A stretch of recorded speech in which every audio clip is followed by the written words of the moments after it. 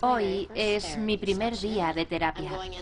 Estoy muy nerviosa porque sé que a partir de ahora mi vida tiene que cambiar a mejor. Hola, Melissa. Hola. Primera sesión de terapia. Soy la doctora Jordana Masbacher y soy licenciada en psicoterapia. Estoy especializada en desórdenes de la nutrición.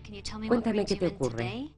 Me siento como un cuadro que empezaron a pintar, pero que no fue terminado, y me gustaría que lo acabaran. Cuando empezaste a sufrir los desórdenes, emocionalmente dejaste de crecer, así que mentalmente tienes 18 años. Tenemos que empezar desde ahí. Háblame de tu madre. Ella ha tenido mucho que ver con mis desórdenes nutricionales. Hace cuatro o cinco años que no la veo. Ella come con normalidad y juzga a los demás por lo que comen. De ahí me vino la ansiedad. Se ponía hecha una furia. Ya. Entonces tenías miedo, pánico, te superaba. No estabas formada. Esos son los antecedentes de... Y me controlaba la comida. Un desorden alimentario. Lo sé, he sido una receta andante. Me sorprende estar viva aún. Te propongo que traigas a tu madre a la terapia. Me gustaría que supiera por lo que has tenido que pasar. ¿Qué opinas? No sé. Mi madre es de las que dice, mira lo que has hecho. Nunca, discúlpame. O también, a mí no me metas en esto. Ya, bueno, si conseguimos que venga, aunque solo sea una vez, quizás podría practicar un ejercicio de psicoeducación con ella. Y si la cosa va mal, ya sabremos que tenemos que cambiar de método. ¿Podemos probar? Vale. ¿Y ahora por dónde quieres que empecemos? En gran medida me alimento siguiendo un ritual. Pienso en horas y cantidades. Tenemos que ocuparnos de eso. En principio quiero que Melissa venga a verme tres veces por semana para someterla a una terapia intensiva. Quiero analizar su relación con su madre y me gustaría que la viera una dietista para que le ayude a comer de manera más saludable. No fue como yo esperaba. Octava sesión de terapia. Si alguna vez mi madre y yo nos lleváramos bien, tendría que ser afrontando nuestro pasado. Me voy a reunir con ella para cenar. Le preguntaré si quiere acompañarme a la terapia. Hola. Tengo que hacerte una pregunta. ¿Quieres acompañarme a la terapia para hablar de algunas cosas? Bueno, Melissa, deseo que te pongas mejor, La visita de mi madre. pero no quiero ir. Yo no necesito ninguna terapia. Cuéntame qué pasó.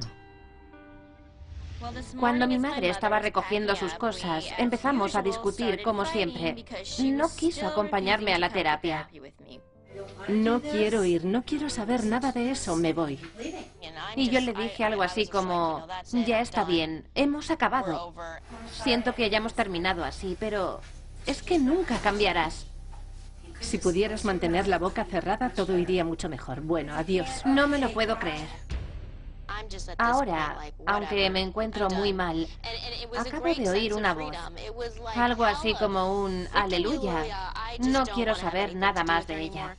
Por fin te has dado cuenta de que no necesitas a tu madre ni su aprobación para salir adelante en tu vida. Me he dado cuenta de que es como es y no me importa que siga siendo así. Bien, por fin ves a tu madre tal como es. Pero me ha dejado destrozada. No quiero, no quiero que esto me deprima, pero por dentro tengo un caos emocional tremendo. Es algo que debo tener en cuenta. Así es la vida y debo prepararme para enfrentarme a ella. No siempre saldrán las cosas como yo quiero. Si no como o hago cosas mal, la perjudicada seré yo. Eso es lo que tienes que pensar. Estoy decidida a cambiar. Así demuestras tu fuerza de voluntad. Voy a clase de cardiodanza dos veces a la semana. Es algo maravilloso. Por eso he venido. Ya te dije que estoy decidida a cambiar para siempre. Me siento orgullosa de ti. Pero no será fácil. No, nadie dijo que lo fuera. Pero el hecho es que estás aquí y que estás tratando de cambiar. Los Ángeles, California. Soy Elisa, amiga de Melissa.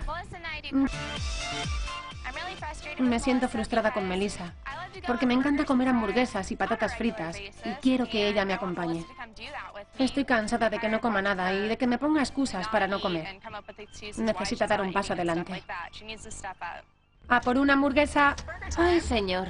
Últimamente he visto a la dietista muchas veces, pero creo que todavía no estoy preparada para enfrentarme a la hamburguesa. ¿Estás nerviosa? Pues, pues sí. Puntúa del 1 al 10 cómo estás de nerviosa. 11. Gracias. Adiós, muchas gracias. No me creo que estés haciendo esto. Paramos aquí. Esto es para ti. Gracias. Ay, Dios. Ya sabes que lo que más temo es comer cosas así. Me siento hinchada.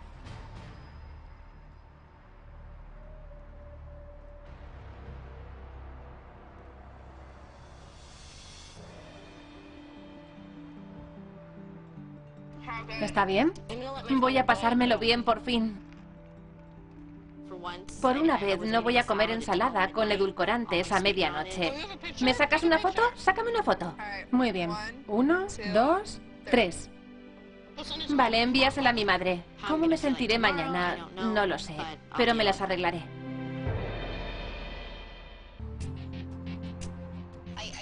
Quiero saber qué cuerpo tendré con unos kilos más. Lo merezco. Soy una mujer y quiero saber qué aspecto tendré. Estos días prueba otras comidas. Eso te hará sentirte diferente. Voy a tomar otro trozo. Bien. Y lo voy a disfrutar. Porque realmente me apetece otro trozo. Muy bien. Durante las últimas semanas he tomado algo más de alimento para quitarme de la cabeza el miedo a decir, voy a estallar. No quiero obsesionarme con la comida.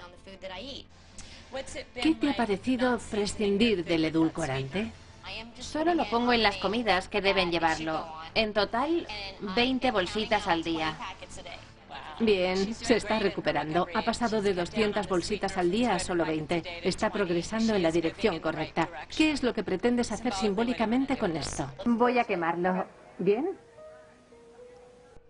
Estas han sido las seis mejores semanas de toda mi vida. No he vuelto a hablar con mamá desde que se marchó. Me doy cuenta de que yo puedo cambiar, pero no puedo cambiar a los demás. Quiero a mi madre, pero lo mejor que puedo hacer es aprender a vivir por mi cuenta. Estoy muy orgullosa de ti. Después de 36 años, lo que me está sucediendo es nuevo para mí. Estoy descubriendo el mundo. Quedo para salir con amigos y no tengo miedo a nada. Estoy disfrutando mucho. Tienes una sonrisa preciosa. Puedo enfrentarme a todo lo que me ocurra en el futuro. Sé que puedo. Salud. Salud. Melissa ha pasado de tomar 200 bolsitas de edulcorante al día a solo 4. Ahora trabaja ayudando a otras personas con desórdenes nutricionales. No ha vuelto a hablar con su madre desde que discutieron.